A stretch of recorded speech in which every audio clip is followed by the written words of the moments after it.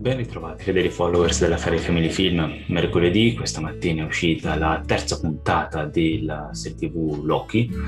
Disney Plus, serie che eh, se ci seguite sapete che stiamo seguendo. E eh, siamo appunto al terzo mercoledì, terza settimana, terzo episodio. Come sempre la recensione sarà divisa in due parti, non spoiler e spoiler. Cercherò di essere più breve, più veloce eh, possibile. È una puntata interlocutoria in realtà. È una puntata che non porta avanti più di tanto la storia che abbiamo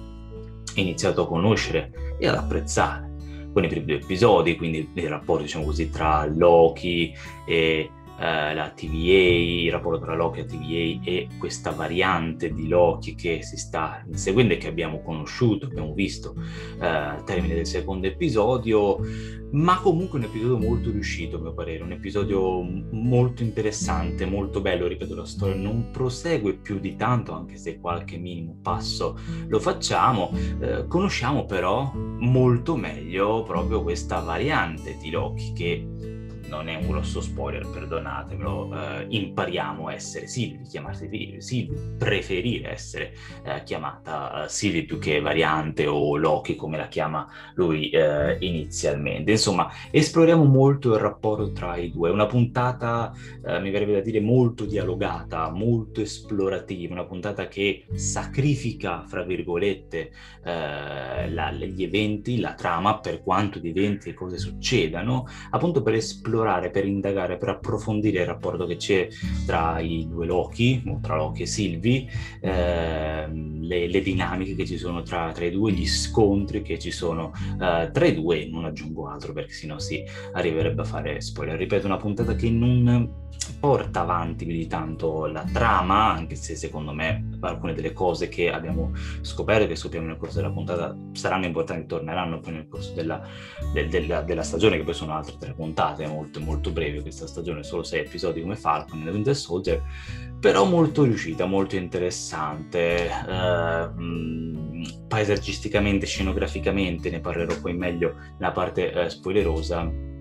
eh, vediamo cose molto interessanti, molto ben fatta, godibile anche all'occhio, per così dire. Due secondi per permettervi di andare se non volete spoiler, uno e due. Iniziamo a fare qualche spoiler. Ripeto, una puntata di dialogo sostanzialmente. Eh, parte della puntata, dieci minuti, un quarto d'ora buono di puntata, è ambientato su un treno. Eh, mi ha ricordato molto Snowpiercer. Si ritrovano Loki e Sylvie, mm, a causa di Loki, come sempre, su un pianeta che sta per eh, scomparire. Una luna sta per impattare contro questo pianeta, ammazzando tutti. Eh, Loki e Sylvie, nel tentativo di scappare dai eh, soldati della TVA, si trovano catapultati in questo pianeta e anche loro, quindi come tutti gli altri che sono su questo pianeta, devono cercare di, di scappare. Ha ricordato Snowpiercer perché l'obiettivo di dei ricchi di questo pianeta è salire su un treno che li porterà ad un'arca, cioè una, una, una nave spaziale che li dovrebbe portare via. Li dovrebbe perché vediamo alla fine in realtà quest'arca uh, esplode, viene colpita dai meteoriti, esplode, per cui eh, tutti i ricchi che sono dentro muoiono, Loki e Sylvie stessi eh, hanno perso il mezzo per uh, scappare dalla, da, da, quel pianeta. Sarà eh, interessante, visto che sta letteralmente per, per, esplodere, per scomparire, sarà interessante capire come si, si, salveranno, come usciranno da quella situazione. Però la parte centrale della puntata è andata appunto su questo treno, la Snowpiercer, che porta le persone più ricche, chi ha potuto permettersi il biglietto verso l'arca, e i due dialogano, i due sono seduti attorno a un tavolo e dialogano, si, si, si conoscono e noi conosciamo loro. Loki già lo conosciamo ovviamente, conosciamo bene eh, Stevie, conosciamo meglio Stevie perché poi è molto più eh, riservata, eh, si ha l'impressione che abbia qualche carta, qualche asso nella manica che non voglia rivelare ancora Loki e quindi anche a noi spettatori che insomma eh, diciamo così guardiamo attraverso gli occhi di, di, di Loki. Um, ed è molto interessante, molto interessante anche se non capita niente concretamente, perché c'è poca azione, sì c'è uno scontro con le guardie eh, che sono sul treno quando scoprono che loro due non hanno, hanno i biglietti, eh, però è molto interessante lo stesso, sono dialoghi ben scritti che ci permettono appunto di approfondire, di conoscere meglio questo, e questo piace sempre. Um, Loki è il solito digione che avevamo già imparato a conoscere appunto nei precedenti film, nel senso che mm, le, veramente, eh, sembra veramente eh, volere il caos, sembra veramente fare senza pensare alle conseguenze, anche se eh, penso che tutto rientri poi in un suo master plan mega piano che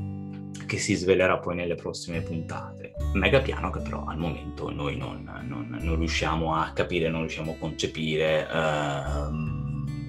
si ha l'impressione che Loki abbia capito e noi con lui si abbia capito che forse questi timekeepers, queste entità divine che pare abbiano creato il, la linea temporale, controlla la linea temporale, eh, possano forse non esistere quando Loki scopre che la guardia che era stata rapita eh, in realtà era una persona come tutte che viveva sulla Terra eh, e poi è stata portata eh, in questa diciamo centrale, la TVA. Eh, Loki sembra capire in, questo, in quel momento che ma forse, forse è tutto poco vero, forse queste divinità non esistono, forse c'è un disegno, un altro disegno dietro, insomma eh, ci sono dei misteri che si accavallano ad altri misteri che